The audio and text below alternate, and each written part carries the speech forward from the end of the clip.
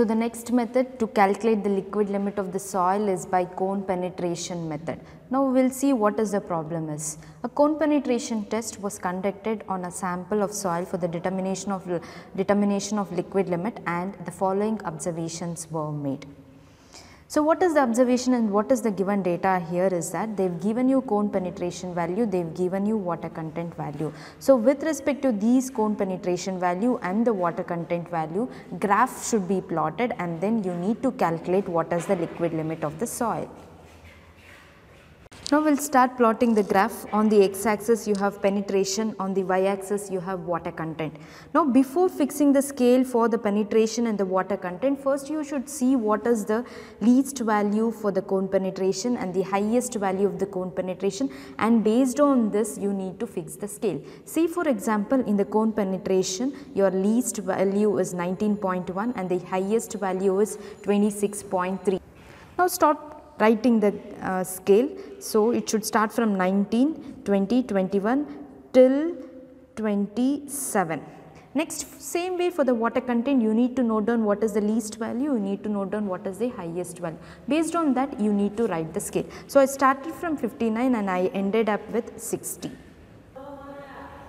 Now with these values we will write the scale. For the x axis the scale is equal to 1 unit is equal to 1 mm. For the y axis the scale 1 unit is equal to 1 percent. Now we will start plotting the graph. The first point for the cone penetration is 19.1 and the water content is 51.3.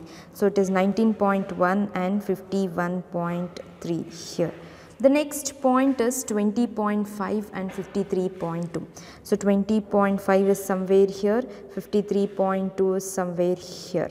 Next 22.2 and 55.2, 22.2 and 55.2 is somewhere here. Next it is 25.2 and 28.1. So 25.2 is somewhere here and 58.1 is somewhere here. So mark the point.